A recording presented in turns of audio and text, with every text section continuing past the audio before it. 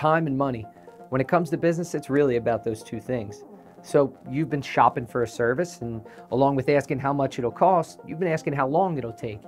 And more and more businesses have been coming back to you and telling you, well, it's not really about hours, it's about points, story points. And you have to check the number. You feel like you've called the wrong place because that doesn't make a lick of sense. So whether you're a customer who's been hearing about points or you're a business who's getting into the agile process and wants to know a little bit more, it all comes down to one central question What's a story point? Story points are a comparative measurement of effort required for performing a task. We're to need a little more than that. So, unlike hours, story points don't take into account the skill level, the experience with that type of work, even the mood the person's in that day or week. Um, story points are based solely on the complexity of a task. So, a task that takes two points, it takes double the amount of effort to get done than a one point and subsequently a one point takes one third the amount of effort as a three point. Now, it's not just pick and choose any number. The numbers work in a Fibonacci sequence. Now, don't run away yet. I know that seems like it's getting more technical and crazy, but really the only reason for this is because all of these numbers relate to each other. And when it becomes really larger with the size of the task and the amount of points, it becomes really impractical and inaccurate to try to just guess how many points something will take. So when it gets that fine, you need numbers that relate to each other, like we said earlier, two being double the amount as one. All these numbers, they relate to each other. But that's still too much. Let's break this down. Let's break it down like this. You have a house with a bunch of 10 by 10 walls that need to be painted. So you go to company A. Company A, they use hours. Now they come out, they survey. The guy who's there that day says, ah, it should probably take about a half hour per wall. Let's extrapolate, there's your price. Well, now when the time comes, they send out the guy who it takes him about 45 minutes per wall. So he's cutting corners to make sure it gets done. And they never really had a set baseline. They just threw it into the wind and whoever showed up had to meet that exact amount of hours to get it done. You should have went with company B they do story points. So what that means is they agreed that every wall is 10 by 10, like they are. So that's their baseline. It's one point to paint a 10 by 10 wall.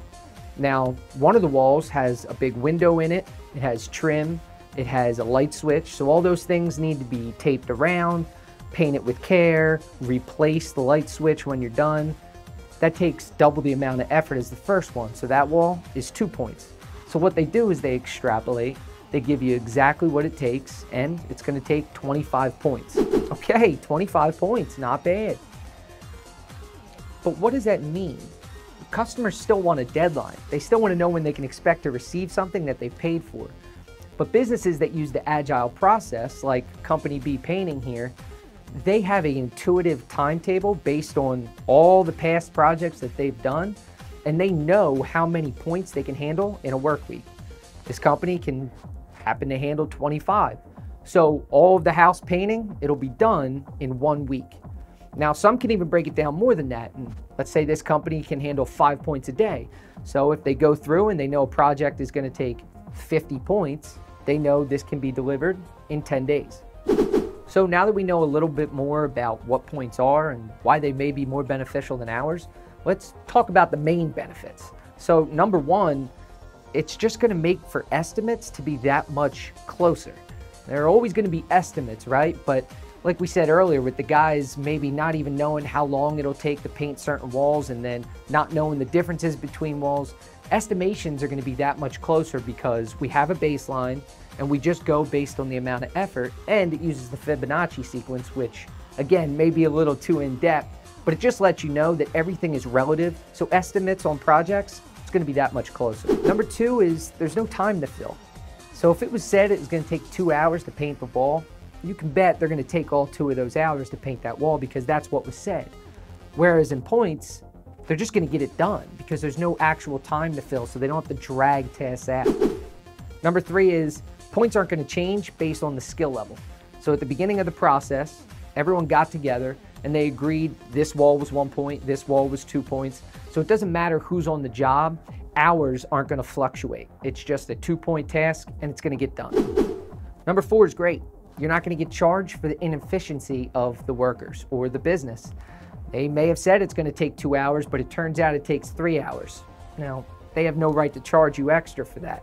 See, the team that has a tried and true process, they decided how many points it was going to take. Now, maybe they were a little wrong, but it's not like they're going to add any hours to it. They're just going to get the job done. And for their next project, they'll know to adjust. Maybe that really is a three point task and not two, but it has nothing to do with you and the price that you paid. Number five, it allows the customer to focus solely on the value and outcome of the project. Now, this brings us full circle, like we said. Time and money is what it's all about. So they don't want to hear about hour adjustments. They don't want to know that a different guy came in and, well, it takes him longer to do the job, so we have to adjust. No. See, value and outcome is all they want. And if you have a tried and true process like story points, the only story is going to be about how successful the business is.